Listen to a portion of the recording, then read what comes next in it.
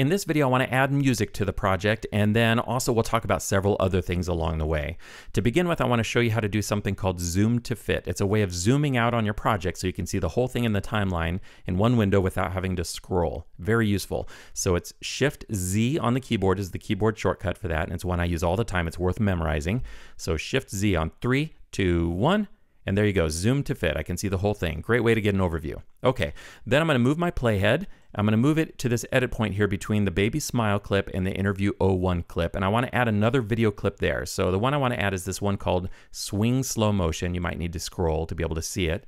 And what I'm gonna do is just kind of skim towards the beginning of the clip here. And after the camera zooms in, maybe right around here, I'm going to, while I'm skimming, I'm just skimming over that frame there. I'm going to hit I on the keyboard to set an in.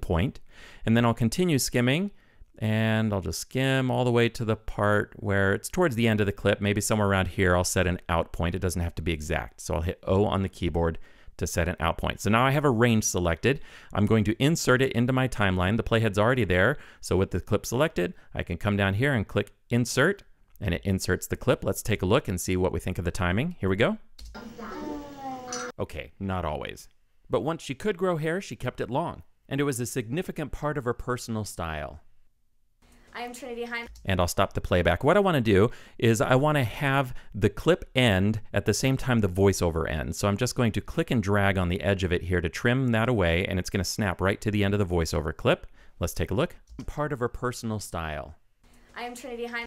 Okay, I like that better. Now I want to attach music to the swing slow motion clip. I want to add music to the project, and we have a lot of different options for doing this. One thing you can do is go to the photos and audio sidebar right here. I'll just click on that. And then inside here, you can grab photos if you want to add photos to your project, but you have several different options for music and sound. So for example, if you've made custom music in Logic or GarageBand, or if you have music in iTunes that isn't protected that you want to use in your project, I'm going to click on sound effects here. And then when I do this, you can see if I scroll through this, there's quite a few different sound effects on my computer. If you want to make sure you have the most possible, you can go up to the Final Cut Pro menu and choose to download additional content, and that'll get you more content than what comes in the original Final Cut Pro install. Anyway, I'm going to close this down.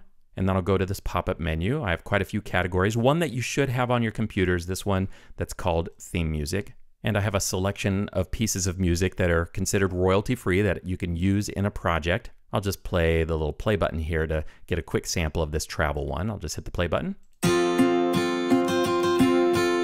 Okay, so you get the idea. If I wanted to use this music, I could just click and drag it down into my project. Now, I'm not actually going to use the music that's in here because I provided a piece of music, custom music for this project. So I'm going to go back to the library sidebar and then go down to the audio event. And then there's this clip here called New Style. I'm going to skim to the beginning and hit the spacebar to play it back.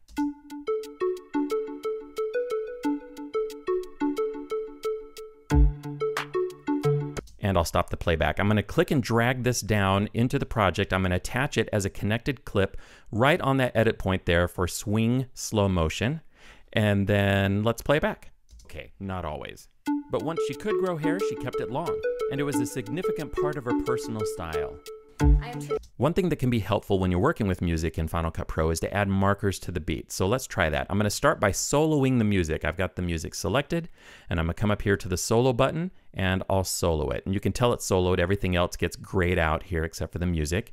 And then I'm going to move the playhead before the music starts, and then in a moment here I'm going to play. I'll hit the spacebar to play it, and then I'm going to tap M on the keyboard. M is for marker. It's going to add a marker to the music clip in my project every time I hit M. And I'm going to do that while it's playing back on the major beat. So here we go. On three, two, one, play. M, M, M, M, M, M. I'll do a couple more here. M,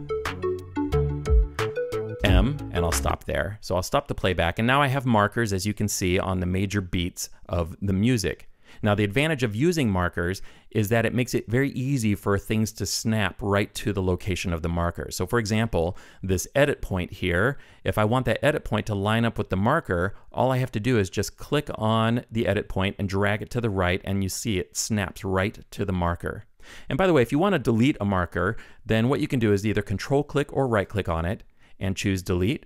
I'm going to hit Command Z because I actually want to keep that one. And if you want to delete all the markers, what you do is you just select it like this and then go up to the mark menu, go down to markers, and then there's this option here to delete markers in selection and all of them go away. I'm going to hit Command Z to bring those back. And I'll also unsolo the clip make sure it's selected, go to the unsolo button to disable it. Now let's check the levels here. So what I'm gonna do is I'm going to play this back and I wanna pay attention to how well I can hear the voiceover with the music playing in the background. Let's take a listen. Okay, not always. But once she could grow hair, she kept it long, and it was a significant part of her personal style. Okay, so the music is obviously competing with the voiceover. So what I need to do is have the music go into the background by making it more quiet. Now, how quiet? Well, it depends. It depends on the voice, it depends on the music, but let's try just reducing the volume to where it makes sense to where we can easily hear the voiceover. So what I'll do is I'll start by moving the playhead to this position and I'm going to select the voiceover clip and I'm going to solo it. So I'll solo it and then I'm going to play this back. I'm going to watch the audio meter here to see what the average level of the voice is as well as the peaks. Let's take a listen.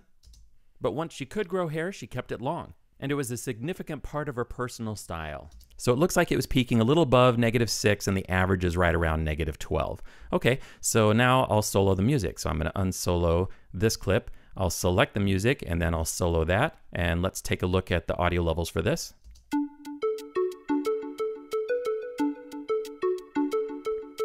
And I'll stop the playback. Looks like it was a little above negative 12. What I'm going to do now is unsolo the music and let's reduce the volume. There's this horizontal volume control right on the audio waveform. If you hover over it, it turns into this little icon there. I'm going to click and I'm going to drag on that to reduce the volume. And you can see that I don't have a very tall clip right now, so every little tiny movement with my mouse makes a big adjustment there. Let's say I want to bring it down to, I don't know, negative 15. Let's take a look and I'll play this back.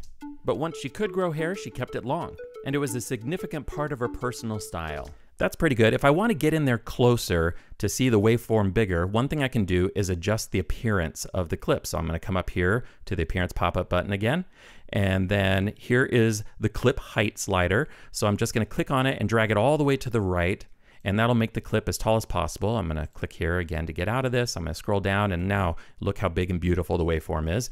And so what I'll do is I'll just click on the volume control here and let's just try bringing it up a little bit, maybe to negative 12. Let's take a listen. Not always. But once she could grow hair, she kept it long, and it was a significant part of her personal style. I think that's fine. So the music is louder than it was before, but it's not really competing with the voiceover because it's definitely more quiet than it originally was. That's one way you can adjust the volume. Another way you can do it, by the way, is you can select the clip and open up the inspector, and then you go to the audio inspector, and there's a volume slider up here. I can click and drag on the slider to adjust it. And if I want to reset the volume, I can click on this little reset button here, and it returns it to zero. If I want to go back to negative 12, I can click here, type negative 12, and then hit return, and it adjusts the volume. You can also adjust the pan here, by the way. So right now it says the pan mode is none, but if I change this to stereo because it's stereo audio, then scroll down, then I get the slider here. And so if I want to pan this all the way to the left, I'll just drag it to the left, and then let's play it back. But once she could grow hair, she kept it long. And then I'll pan it to the right. Let's take a listen.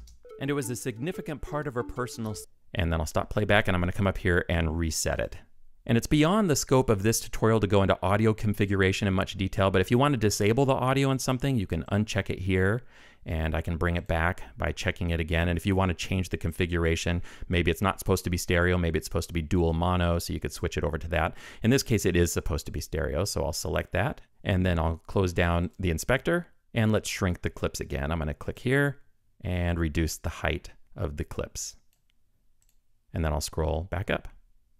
While we're talking about audio, I should also show you the fade handles. If you want to fade audio in, they show up when you hover over the waveform, the audio waveform, and this over here on the far left edge is a fade handle. If you hover over it like that, then you get this little symbol, and I can click and drag and bring it in, and then over the course of a couple seconds here, I can have the audio fade in. Let's take a listen. But once she could grow hair, she kept it long, and it was a sig- and I'll undo that. I'm gonna hit Command Z to reset the fade handle. So if there's an audio waveform, you can hover over it to see the fade handle. That's for video as well. You can see there's a fade handle right here. And then on the other side, there's also a fade handle here. So you can fade in on this side and you can fade out on this side. Now that we've added music to our project, in the next video, let's add some photos and time those photos to the music.